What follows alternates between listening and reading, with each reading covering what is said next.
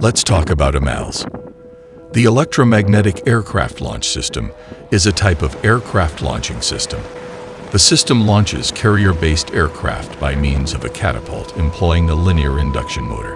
EMALS was first installed on the USS Gerald R. Ford aircraft carrier. Its main advantage is that it accelerates aircraft more smoothly, putting less stress on their airframes. Compared to steam catapults, the EMALS also weighs less, is expected to cost less and require less maintenance, and can launch both heavier and lighter aircraft than a steam piston-driven system. It also reduces the carrier's requirement of fresh water, thus reducing the demand for energy-intensive desalination.